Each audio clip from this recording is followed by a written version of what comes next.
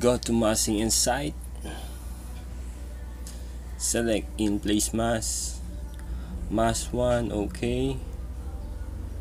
Select the ellipse. Select the draw on work plane. Pick at center point.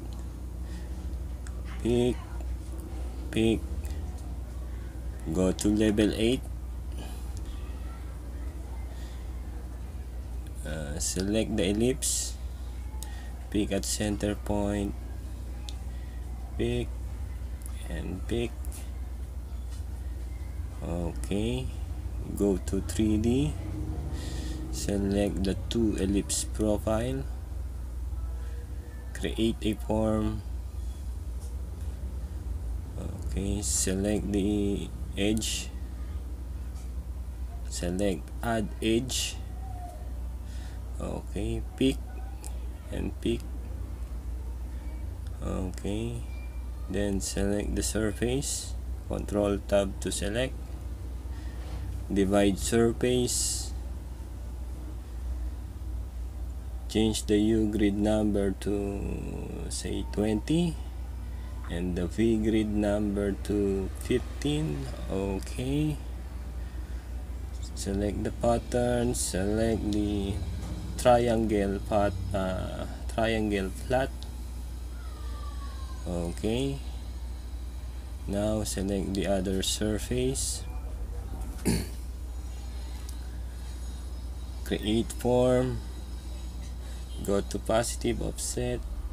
Change it to say 0.5 meters. Okay. Rotate the view.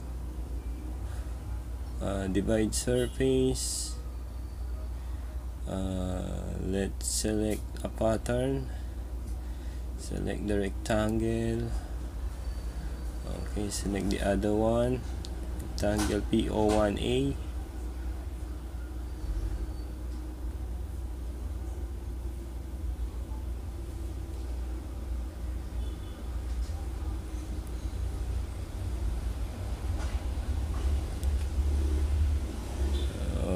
okay let's see. Okay. Next. Uh, rotate the view. Okay. Select the pattern. Select the triangle flat PO1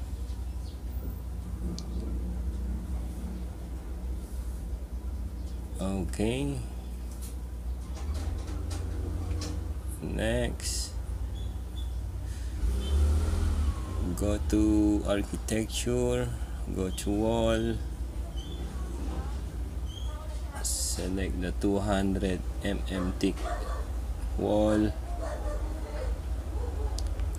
Go back to architecture select the wall by face. Okay select the surface. Okay select. Uh, let's select this one. Oh cancel. Select the horizontal surface. Okay. Let's look at the perspective. Okay next select the mass. Select mass floor. Select all the levels select. Okay. Go to architecture floor. Select floor by face. Select the floor face. Okay. Select then create floor select the remaining floor face then create floor. Okay. Turn up show mass okay. Done. Thank you